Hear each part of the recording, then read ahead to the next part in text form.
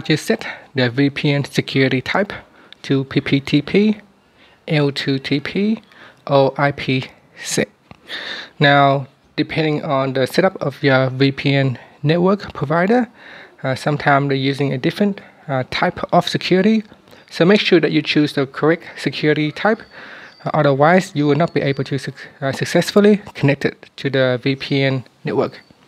To do so, first tap on the home key to go back to your home screen and then swipe down at the top and tap on the settings icon. Next, tap on connections and then go down and tap on more connection settings. Next, tap on VPN and then tap on the settings icon if you have already set up a VPN.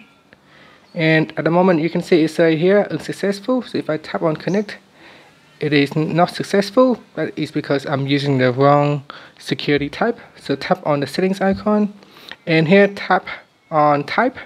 So tap on type and then in here make sure that you choose the correct VPN settings. And here I'm going to choose L2TP and uh, with this uh, particular server it is set up to use the L2TP security. So I'm going to put in the security key or the share key so I'm going to bring up the clipboard and the security key is just VPN and tap on saved. And if I try it again this time it should work. So make sure that you are using the correct type security type for your VPN in order for you to successfully connect to a VPN network. And that's it. Thank you for watching this video. Please subscribe to my channel for more videos